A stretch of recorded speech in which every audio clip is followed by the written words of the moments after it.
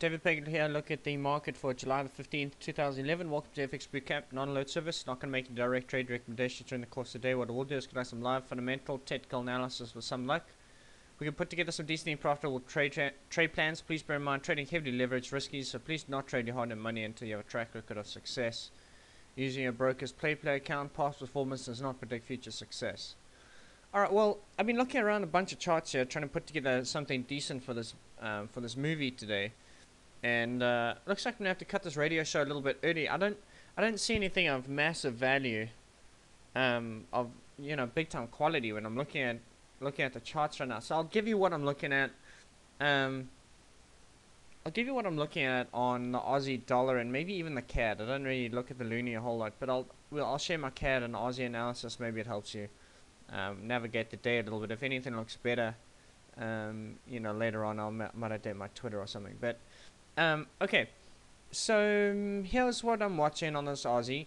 It, you know, in in essence here we sort of made this little move down and it looked like we were making a daily change of trend and we broke some of these lows and I was looking for a little short here and then what happened and then we broke these two highs and that resurrected the trend back to the upside and you know tried along through here and that trade was all break even and then it sort of made this little double top right at the fib of this you know right at the overall fib of this drop. And then we double topped at 108 made a lower low. And then you know on Tuesday I was looking for something like this.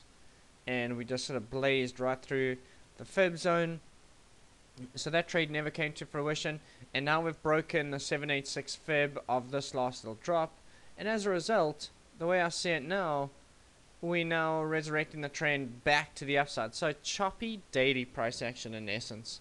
Alright on this Aussie dollar. However we've got to go with the information that we have at hand right now if I just zoom in on this on this daily a little bit. So you know, the fact that it's broken what I like to call the little red zone of this drop fib-wise, um, now I'm expecting that area to become support, and we do a little something like this, potentially to the upside, in which case I'm looking for sort of 108.50. Alright, now, how is it going to be executed? If I show you the 4 hour, what I'm looking for on the 4 hour, and if I, if I take a fib now of this overall rise, zoom out just a touch, okay, and obviously we have support sort of through here. This is really my cutoff point. I will no longer be bullish on the Aussie dollar if we break below sort of 107, um, 107.70 or so.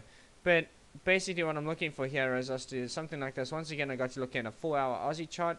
Notice these little wick highs here. That's what we're reacting to. Obviously, little uh, area buying and selling. You can see that we didn't really close any candles below there, going back a couple of days, etc. So it's an important zone here at the 107 psychological level, it's also obviously the psych level. Okay, now, so what I'm looking for us for us to sort of drop down, we've headed back up to this little bit of resistance, and then I'm looking for us to maybe pop below 107, not by a whole lot, 106.90, 106.80, and then a 15 minute it'll change a trend through here, and I'm looking for us to be heading up on the Aussie dollar today if, like I said to you, if we break below 106.70, I want no part of the long. Alright, then I think that, then I think that this triple top means something. Okay, but that's basically what I'm looking for. I'm looking for us to hold this 382 50% of this rise and try and ride the 85 to the upside. Looking for around 108.50 today, so actually quite a substantial trade. Alright, and um, you know what's it going to look like on the what's it going to look like on the hourly? Here's your hourly charts, so sort of something like this. Okay, little pullback and continuation. In other words, this will change a trend right off the fib zone and the psych level of 107 and then sort of looking to pick up this trade somewhere through here. Alright, and we'll see what happens. And Like I said to you, this is my threshold point. Okay, now the CAD trade actually looks the same. So if the Aussie trade's going to work, the CAD trade's going to work. If the CAD trade's not going to work, the Aussie trade's not going to work. And if the Aussie trade's not going to work, the CAD trade's not going to Alright well, trade, whatever. Okay, so here's a daily CAD. Here's a daily CAD chart.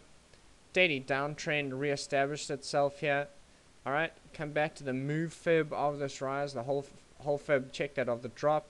Now we've broken the 786 of this of the rise. So I'm looking for a swing fib for a continuation to the downside. One of the uh, one of the people that I'm one of the traders I'm actually mentoring right now mentioned this trade and it actually looks good. Um, So, um, thank you, Christine, for that, by the way. So, anyway, so here we go. Um, you know, very, very, very similar, just the inverse setup of that Australian dollar, right? Little something like this. And, you know, if you push push above sort of 96.40, 96.50 there, I think the trade's broken. But, sorry, I just switched to a 4 hour, but ultimately that's what I'm looking for. A short, somewhere in the vicinity of 96.30, 96.40 and uh, basically trying to take that down to about 95 the figure alright guys nothing here massively interesting I, you know I've had some requests to cover the pound uh, I think the euro's on track. I just think that there's a little bit of chop here that's going to present itself. Um, we're just going to be cool you know? We got to take it in our stride a little bit. The reason I'm not covering the pound is because I'm not 100% sure what it's doing. I don't think that we possibly going to sort of 62.50 and then try to roll over again, but I see it as sort of very short term bullish, but not that excited about longing it.